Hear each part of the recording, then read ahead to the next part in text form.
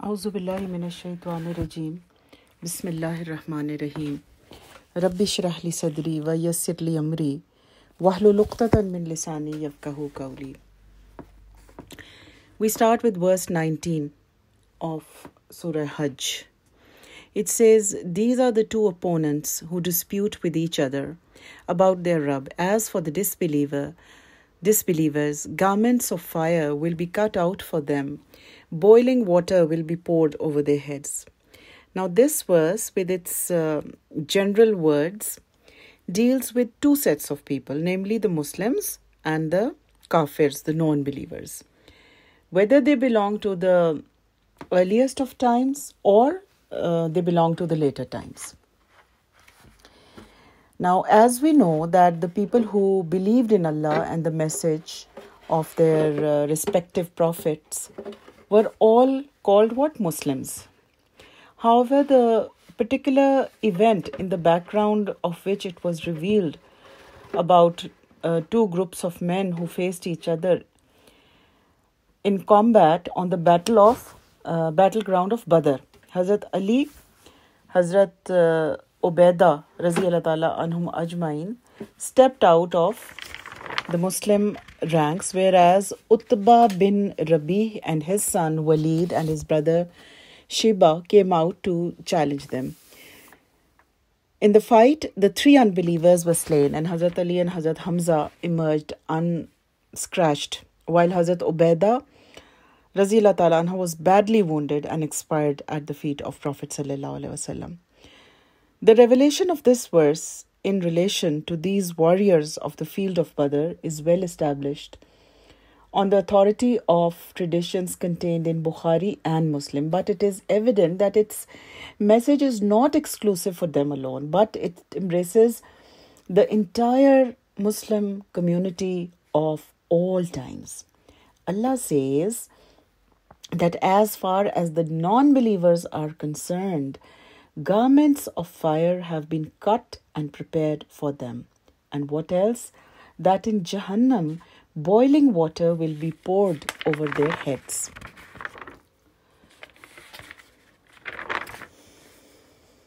Why on the heads? Because this head refused to do sajda. And the next verse further explains their condition that, that is, verse 20, which will not only melt their skins but also the inner parts of their bellies. So, this is how the hot water poured on the heads is going to affect the rest of their bodies. Verse 21 And there will be hooked rods of iron to lash them. Verse 22 Whenever in their anguish they try to escape therefrom, they will be forced back therein and will be told, Taste the punishment of the burning fire. Verse 23 As for those who have faith and do good deeds, Allah will certainly admit them to gardens beneath which rivers flow. They shall be decked with pearls and bracelets of gold, and their garments will be silk. Now, the verse says that all the people who did good deeds, good deeds along with faith in Allah, along with other rewards, will be rewarded with silk clothes and gold bracelets. And these bracelets will be studded with beautiful stones. This is to show that they will be honored like the kings and chiefs who used to wear these things. Men are not allowed to wear gold or silk in dunya, but they will be allowed in Jannah. Hazrat Abdullah bin Umar said that once the Prophet said that the clothes of the people living in paradise will be made from silk, which will be extracted from a fruit growing there. There is also a statement by Hazrat Jabir anhu that there would be a tree in paradise which would produce silk and the people of paradise would wear dresses made from it. Then Hazrat Abu Huraira anhu reports that Prophet said, He who wears silk in this world will not wear in the hereafter. He who drinks wine in this world will be deprived of the sacred nectar in the hereafter. He who uses utensils made of precious metals for food and drink in this world will be denied their use in the hereafter. Then the Prophet ﷺ added, Three things are exclusively for the people of paradise. Then Another hadith narrated by Hazrat Abu Sa'd al-Khudri says, He who wore silk in the world will not wear it in the hereafter, even if he is admitted to paradise. All other people of paradise will wear silk, but not he. Verse 24 This is because during their life on earth, they were guided to accept the pure words of Allah and they were shown the way of all the praiseworthy. Mm. now, the verse says that this reward was given to them because in dunya they were guided towards ila min al qawl. Ila min al qawl. And which people are guided towards it? The one who seek it. The ones who are attracted towards it. Now, according to Hazrat Abdullah bin Abbas, uh, ta'ala anhu, at-tayyib min al means the kalima tayyiba, la ilaha illallah, which some commentators say that this means the Quran. And as a matter of fact, both of these are included in it, and the ones who walk on this path is led to Al-Hamid, the praise, praiseworthy. Now, one may notice that out of the 99 names of Allah subhanahu wa ta'ala, why this name Al Hamid is used. This is an indication that this path leads to paradise because we know that the people of paradise are praising Allah subhanahu wa ta'ala with every breath. Verse 25 As for those who are unbelievers and debar others from the way of Allah and from the Masjid al Haram to which we have assigned all mankind with equal rights, whether they are natives or foreigners, and whoever intend to deviate from righteousness to wrongdoing in its vicinity, we will make him taste a painful punishment. Now, in this verse, Inna lazina kafaru are the non believers of Makkah. What did they do? Stopped people from the way of Allah. Now, we have heard how these people stopped any outsider who came to Makkah even before he entered. And they used to warn him that there is a magician, Na'uzubillah, by the name of Muhammad, and he spell, uh, he casts a spell and he spellbounds people by his speech. So don't go near him, otherwise, you too will get hypnotized. Tufail bin Amir says that when he went to Makkah and he was doing tawaf, and someone told him during that time that there is a man who bewitches people, and he pointed to Prophet Sallallahu alaihi wasallam He says that I got so scared that I, that when I used to pass by Prophet Sallallahu alaihi wasallam during the tawaf, I used to put my fingers in my ears so that I may not listen to what he has to say. And people were that scared. So, one way of preventing people from the path of Allah is that you present such a negative, false image of those who convey Allah's deen that people run away from deen altogether. Then these people of Makkah made a social boycott with the Muslims. This too was a scheme to stop people from coming to Islam. Then, when in the 6th Hijri the Muslims came from Medina to perform Umrah, the non believers did not let them enter Makkah and perform Umrah, although the Muslims were wearing their ihrams and they had to return from Hudaybiyah. Here, Allah subhanahu wa ta'ala says that no one has a right to stop a Muslim from entering Masjid al Haram. Everyone has equal rights, whether a local or a foreigner. What rights are these? The rights of worship, that is, doing tawaf, reading salah or Quran or any other kind of ibadah. There is a hadith of Prophet ﷺ in which he said, O children of Abd Munaf, those of you who will have authority over the affairs of the people should not stop anybody from moving round the Kaaba or from offering prayers in it at any time of the day or night. It is because of this instruction of Prophet ﷺ that the doors of the Masjid al Haram are always open 24 hours a day. people are going in and out all day, all night to perform umrah, tawaf, or other ibadah. Now, one thing has to be clarified that a huge number of people are there in the haram most of the time. And for its effective regulation and management, there are certain principles like there's a, a specified area for women and then men, and the management can tell someone to go in their respective area, or when a certain area has to be cleaned, they put chains around it so that no one can enter. So, these things, which are for the sake of management purposes, does not come under the command of this verse. And we find that Masjid Nabwi in Medina is closed after 10 at night till tahajjud because there's no such instruction for that uh, masjid. Now, there's a difference of opinion amongst the commentators on the terms Al Masjid al Haram. According to some, it is the second, uh, uh, so, sorry, according to some, it is the uh, sacred mosque of Kaaba, and some say that it is the entire Haram of Makkah. But the first opinion seems more appropriate because the word masjid is used with it. However, the entire Muslim Ummah and all the jurists are unanimous on the fact that all those areas of Makkah and the Haram where the essential rituals of the pilgrimage are performed, such as the space between Safa and Marwa, the uh, areas of Mina, Arafat, Muzdalfa,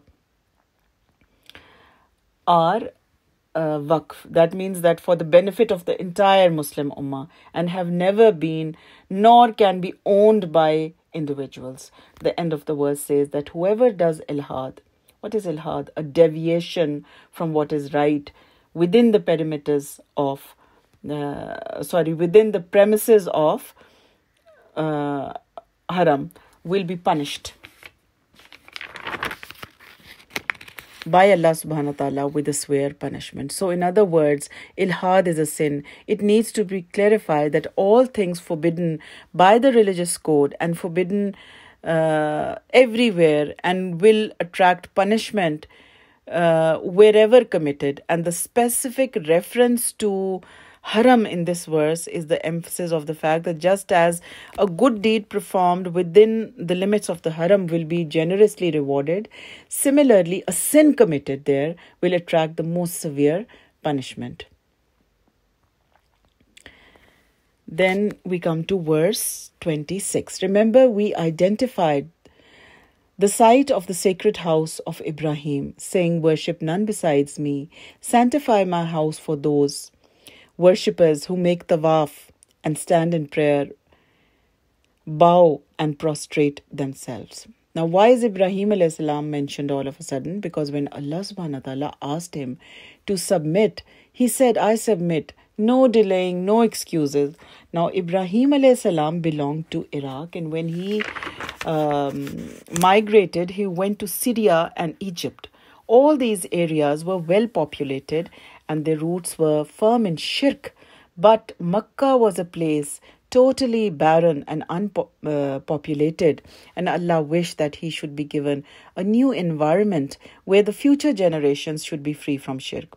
For that purpose, Allah subhanahu wa ta'ala brought Ibrahim salam hundreds of miles away in the valley of Makkah and he constructed the house of Allah. And the foundations of this house had been laid first by the angels and then by Adam salam. And then Allah commanded Ibrahim salam that keep my house clean, clean from shirk. And also special attention should be paid to its external cleanliness and purity.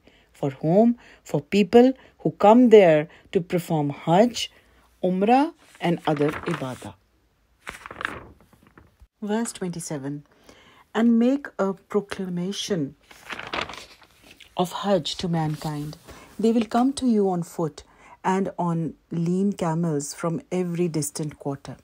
So the next command given to Ibrahim salam was to make an announcement for Hajj. Hazrat Abdullah bin Abbas ta'ala says that when Ibrahim was commanded by Allah to make this um, proclamation, he submitted that the place where he stood was an uninhabited, desolate place with no one to hear and the proclamations, whereas he uh, lacked the means to convey it to the populated areas. So Allah subhanahu wa ta'ala then told him that he was required only to make the proclamation and the responsibility of uh, conveying it to the four corners of the world rested with Allah subhanahu wa ta'ala himself. Thereupon Ibrahim alayhi salam stood at Maqam Ibrahim and made the proclamation and Allah Ta'ala magnified his voice so that it was heard all around the earth. It is also related that he made the proclamation from the top of the mount of Abu Khubais and he put his fingers in his ears, turned his face in four directions, and called out, O people, Allah has established his house and made it obligatory upon you to make pilgrimage to it. So obey the command of your Lord. It is also mentioned in the narration that Allah subhanahu wa ta'ala so decreed that the announcement was heard uh, miraculously all over the world, not only by the living people then, but also those yet to be born up to the day of resurrection, and all those who are destined to perform the pilgrimage uh, responded to the call with the words Labbaik, Allahumma Labbaik. And Hazrat Ibn Abbas Razi Allah says that the talbiya during the pilgrimage has its origin in this response to the call of Ibrahim salam. And then Allah says that don't worry, people will come here from every corner, on foot, on transport, meaning that from near and far places both. And we can see this promise of Allah subhanahu wa ta'ala come true with our own eyes. That so many people come there all around the year that uh, boarding and lodging sometimes becomes a problem. And the magnificence of this ayah can only be um, felt if you have gone for Hajj or Umrah. You see that vast ocean of humanity all calling out labbaik allahumma labbaik oh allah here i am ready to serve you ready to worship you now according to jeffrey lyon he comes up with a beautiful point that when ibrahim salam was uh, commanded to make this call uh, there was no one uh, except his own immediate family but he obeyed allah and made the call if you and I were there, we would have said, Why should we make this call? What's the use? But such was Ibrahim salam's love and trust for Allah that he obeyed. And look at the response to his call. Imagine the call which he made, and then look at the response. We see people coming from every nook and corner of the world Europeans, Americans, Asians, all crying, Labbaik, Allahumma Labbaik. Subhanallah. Now the verse says, Yatina min kulle fajjin amik. They will come from every deep distance ravine. If you get a chance to stand on the roof of the haram and witness this ocean of humanity coming, this ayah will, you know, start coming to your mind immediately. Verse 28 So that they may witness the benefits which are made available for them and pronounce the name of Allah over the cattle which we have provided as food for them on the appointed days, then eat meat themselves and feed the indigent and needy. Now, why people should come to this place? To see the benefits. What benefits are these? From the religious point of view, they see these reminders of Allah signs of Allah, they worship Him, they get reward and maghfirah in return.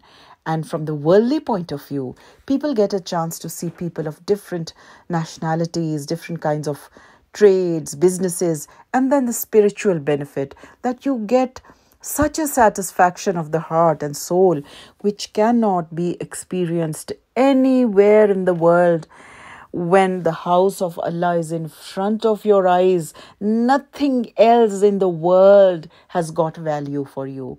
Then the verse says that mention Allah's name over the cattle. This means uh, that Allah's name should be recited at the time the cattle is slaughtered to show that the Muslims are to slaughter and sacrifice animals in Allah's name alone. so as to uh, distinguish them from the disbelievers who slaughter animals without mentioning Allah's name or by mentioning other names than Allah. In Ayamin Malumat, these days are 10th of Zilhajj and the three days that follow. One can eat from this meat and give the give it to the needy as well like we do with our uh, kurbani that we keep some for ourselves some for the relatives and some for the needy keeping for yourself is not obligatory but it is good if you eat from it verse 29 then they sh- showed uh, sorry then they should accomplish uh, their need for acts of shaving or cutting their hair and taking a bath, fulfill their woes, and go for tawaf ziyarah to the ancient house. Now, this verse refers, uh, this is verse 29, it refers to uh, uh the rituals of Hajj. So, the rituals of Hajj, and in this, the word tafasa, tafasahum means that that dirt which gathers on human body. While a person is in the state of ihram, he cannot shave, he cannot trim or pluck his uh, hair, nor can he uh, cut his nails. Uh, he cannot use perfume, and it is quite natural that dirt should collect under his hair and nails uh, or on his bo- other parts of the body. Now, after the pilgrims have performed the sacrifice, they should remove this dirt, meaning that they should now remove ihram, wear normal clothes, shave their heads, and cut their nails. And this verse mentions sacrifice first and then refers to the removal of dirt, which suggests that these two acts must be performed in that order. It is forbidden to shave one's head or pare nails before the obligatory sacrifice. Anyone who does so must slaughter an animal as dam. What is dam? That is the um, expiation that you give for a sin. Now, the observance of the various functions of Hajj in the same order in which they are mentioned in the Quran and Hadith must be followed. And any alteration in the sequence of these rituals makes a sacrifice of an animal obligatory. Then the verse says that fulfill the woes. Fulfill the woes. Now, nuzur is the plural of nazar.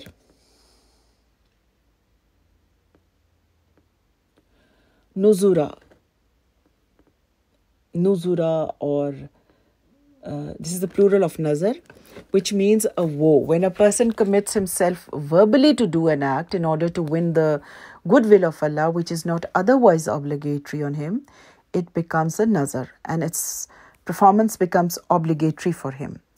And by consensus of Ummah, uh, provided that this act is not sinful or forbidden. So, one point has to be made clear that a resolve made in one's heart to do something does not come under this nazar. It does not become a nazar unless it is pronounced with the tongue. Now, one may wonder why between the rituals of Hajj, this instruction of fulfilling vows has been inserted in, while the rules governing vows have an independent status which are to be fulfilled at all times and at every place, and not just uh, during Hajj. A possible explanation for this is that when a person sets out with the intention of performing Hajj, his heart prompts him to do the maximum number of good deeds. And he makes many vows, like, for example, that I would give this much sadaqah or I'll pay so many nawafil during this period. So now these vows must be fulfilled. If any vow has been made, it should be uh, fulfilled. And then what next? That go for tawaf ziyara. This tawaf is performed on the 10th of Zilhajj after casting stones and making sacrifice.